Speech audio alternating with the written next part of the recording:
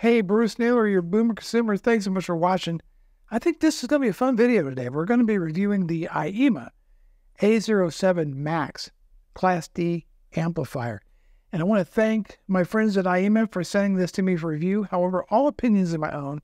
No one's reviewed this video prior to posting. So there is that. Now, let's talk a little bit about the video. In this video, we're going to go over, you know, the unboxing, my initial impressions, the design, build, features, and a whole lot more. So you want to stick around to the very end. Now, these sell right now, uh, they are on sale for $74. what? I, it just blows my mind that you can buy such a powerful, good sounding little Class D amp so cheap. It just amazes me. And this stuff just keeps getting better and better. So let's take a look at what comes in the box with the A07 Max. Well, you get the power cord that comes with it. You get the quick start guide. You get the power supply. You get the A07 Max and also a uh, like a quality control certificate with it. And that's what comes in the box. I think AIYIMA does a pretty nice job packaging these things up. My initial impression when, when I first opened up the box of this was Man, it is nice and small. This thing is only just slightly over six inches in, in width, three point almost four inches in depth at 3.94 inches, and it is just a little over one and a half inches in height. I like that it has um, an LED for either stereo or if you're using this in a mono block scenario in mono. I like that. Knob field it is a plastic knob. Now, the rest of the case is all metal. You got these nice little kind of holes in the side here for cooling purposes. Why they didn't put, at least put a metal uh, volume control on there, I don't think it's metal. It feels kind of plastic. There's no detents, nothing like that. I kind of wish maybe they might have put just a little bit more effort into that. You know, 2.2 pounds, and given its size of how small it is, you really put this just about anywhere on your desktop. You could put it, you know, maybe in the bedroom on a nightstand, something like that. Makes it really versatile. Powerful amplifiers don't have to be huge, right? They just don't. And this certainly is not. Now, as far as, you know, places to put this at, again, I think desktop, bedroom, den, a whole lot of other places.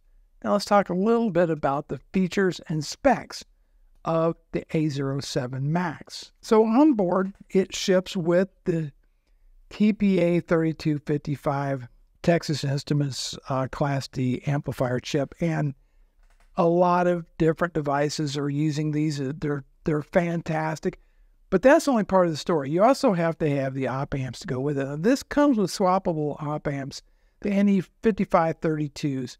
So power wise, the most you can get out of this, if you get it with the 48 volt, 10 amp power uh, supply, it's going to be 185 watts per channel to 8 ohms. And now, according to the manufacturer, 190 in mono. Now, mine shipped with the 36 volt 6 amp supply, which is 94 watts per channel in the stereo and 118 in the mono. Again, the op amps are swappable and they do use some really high quality components in there, including uh, Japanese Rubycons, ELNAs, capacitors, German WIMA uh, capacitors, and uh, IT and the um, uh, IT power management chip.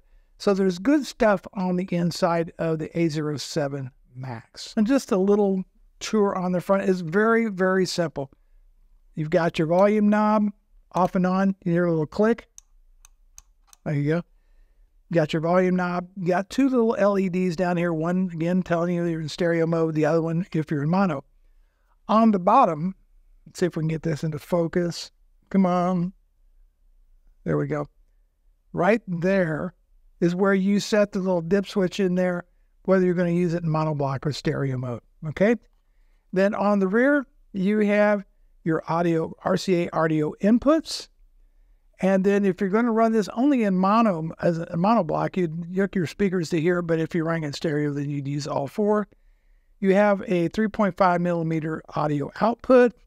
Use that maybe with a powered sub, something like that. And then you have your DC power input, which will handle anywhere between 24 to 48 volts.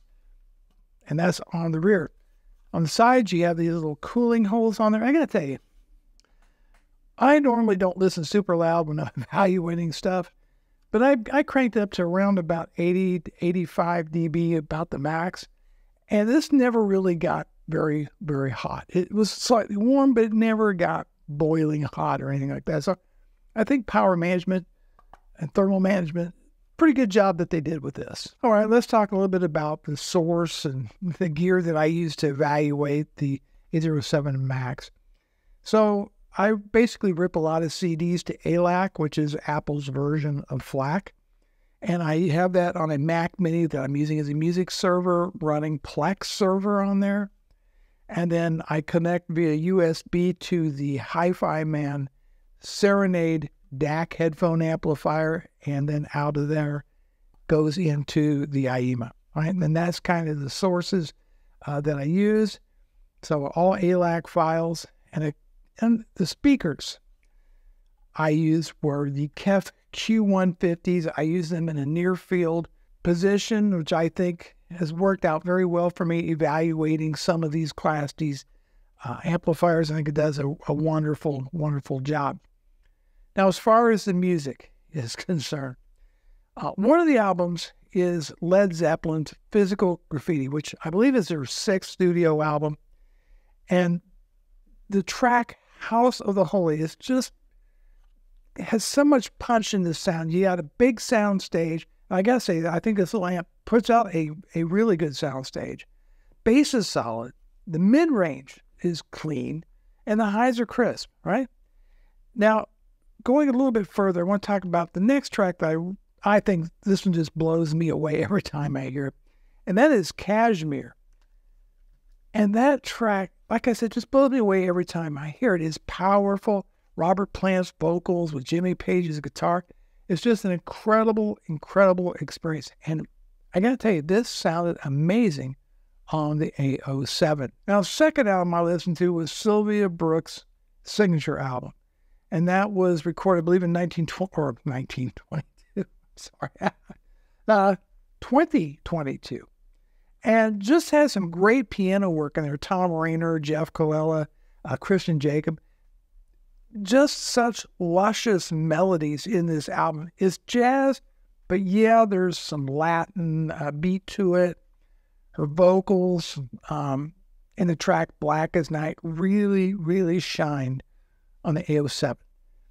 One of my favorite tracks on this album is called Catch 22. It's just excellent, and I it, sh- it showcases Sylvia's vocal range. And I just think that the the the bass responsiveness on this amp is well controlled. Mid bass has a lot of punch to it. Mid range is neutral. You know, that's where most of the music lives is in the mids. And maybe it's just a bit warm, but never clinical. Doesn't have that digital sheen to it. And the same goes with the treble, which is very airy without uh, any real fatigue the soundstage, on it, I think, is very deep and tall. And when you want to talk about imaging, of course, the Q150s give you excellent imaging and soundstage to begin with. And you know what? This amp did not detract from any of that. And one thing I want to talk about, and I think is very important, is thermal efficiency, right? This case never, ever got hot at any time, right? Now, I typically listen somewhere between around 74, 75 to 80 dB max. Uh, one of the complaints about some of these less expensive Class D amps is that when you really push them hard, uh, they begin to kind of come apart as far as distortion, uh, that type of thing. I don't push them that hard, but I would say that uh, for the average person, even for you entry level audiophiles, I don't think that's ever going to be an issue for you with this amplifier. But you never know. So keep that in mind. But to wrap this up, I think for what, 75 bucks right now on sale, normally it's like $92. This is like, I know the inevitable. Okay, let's just cut to the gorilla, 800 pound gorilla in the room. How does this compare to the Fosi ZA3, for example? Well, I think it's extremely competitive. It's half the price right now, or about half the price. So that makes it very competitive. And again, you could get two of these for the price of, you know, just about one of the, the ZA3s. I do think the ZA3 sounds a little bit better. I think the build quality is superior. It's a little bit more hefty, the music, but I think you're getting a heck of a value with this, and it certainly may do you very, very well for the price. So, you know, you're getting a powerful Class D amplifier. You're getting the swappable op amps. You can use it in mono blocks. There's solid components inside. It sounds excellent. And uh, so I think it's very much worth the price for a starter system. And there's a lot of people, younger people especially, getting into hi fi and audio, and they like desktop devices. This is a killer little amp.